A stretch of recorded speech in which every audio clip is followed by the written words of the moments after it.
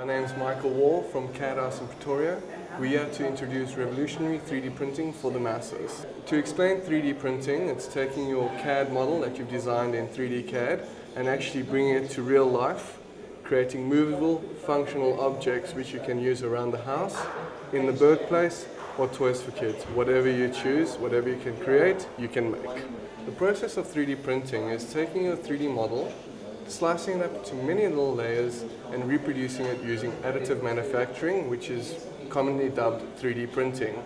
By doing that, it's taking many layers and fusing them on top of each other, creating a 3D model for your use and function. When 3D printing started 25 years ago, it was just expensive and inaccessible for the masses.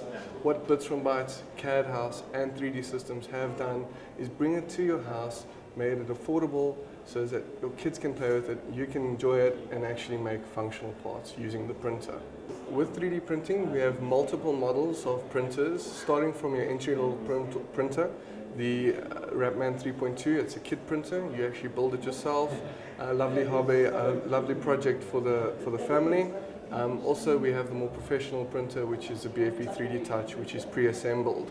Those printers are used are using FDM technology, which is fused deposition modeling, where it's layering layers on top of each other from ABS plastics and PLA plastics, creating rigid parts for function and formality. The printers will mainly be used for prototyping, uh, proof of concept of parts, runoff of parts in low volumes.